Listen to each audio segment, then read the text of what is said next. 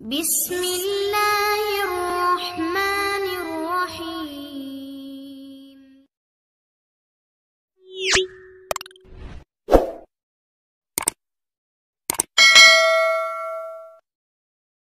بسم اللہ الرحمن الرحیم محترم حضرات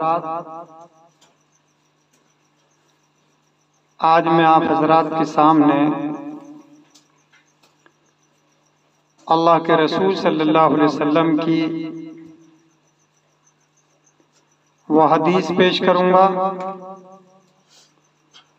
جس کے اندر اللہ کے رسول صلی اللہ علیہ وسلم نے ایک حکم دے کر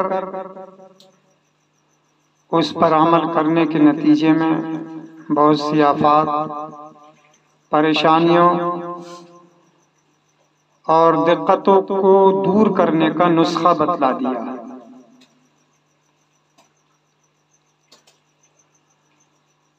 دیکھیے، حدیث پاک ہے، جس کے راوی حضرت جابر رضی اللہ عنہ ہے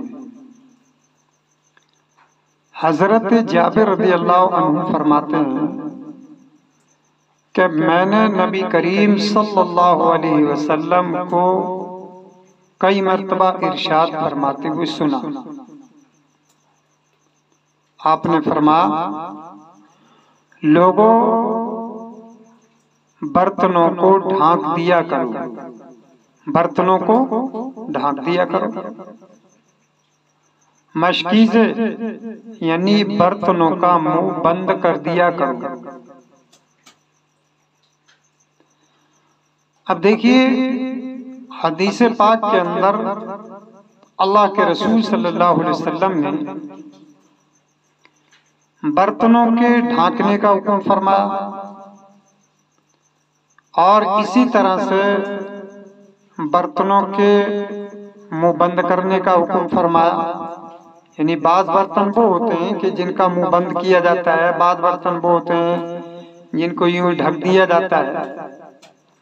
تو بہرحال برتنوں کو ڈھکنے کا منہ بند کرنے کا حکم فرمایا یہ کیوں فرمایا اس لیے فرما آپ نے ارشاد فرمایا کہ سال کے اندر ایک رات آتی ہے سال کے اندر ایک ایسی رات آتی ہے کہ جس رات میں آسمان سے ایک مصیبت آفت بلا نازل ہوتی ہے آپ نے کیا فرمایا کہ آسمان سے ایک بلا نازل ہوتی ہے اور وہ بلا جس برتن کا منہ کھلا دیکھتی ہے، اسی برتن کے اندر وہ داخل ہو جاتی ہے۔ تو اللہ کے رسول صلی اللہ علیہ وسلم نے اس طرف اشارہ کر دیا کہ جب ہمارے گھر کے ہمارے استعمال کے برتن بالکل ڈھکے ہوئے ہوں گے، بند ہوں گے، تو اس شکل میں وہ بلا ان برتنوں کے اندر داخل نہیں ہوگی۔ جب وہ بلا برتنوں کے اندر داخل نہیں ہوگی، تو پھر ہم بہت سی بلاؤں، آفتوں اور مصیبتوں سے بچیں گے۔ اور جب وہ ہمارے برتنوں کے اندر وہ بلا داخل ہو جائے گی۔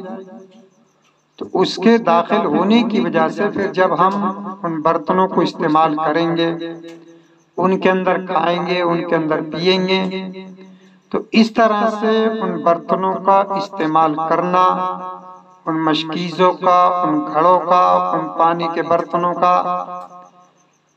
یا بہرحال کسی بھی استعمال کا برتن ہے، پھر اس بلا کے داخل ہونے کے بعد برتن میں ہم اس برتن کو استعمال کریں گے، تو وہ استعمال کرنا ہمارے لیے بہت سی مصیبتوں آفتوں اور بلاؤں کا ذریعہ بن سکتا ہے۔ اس لیے حضور صلی اللہ علیہ وسلم نے ہمیں تاکید فرمائی کہ رات کو برتنوں کو ڈھانک دیا کرو، رات کو برتنوں کے منہ بند کر دیا کرو۔ تاکہ سال کے اندر جس رات کے اندر وہ بلا نازل ہوتی ہے، وہ برتنوں کے اندر داخل نہ ہو سکے اور تمام آفات اور بلاؤں سے تمام لوگ بچ سکیں، محفوظ رہ سکیں۔ اللہ تعالیٰ مل کی توفیق عطا فرمائے۔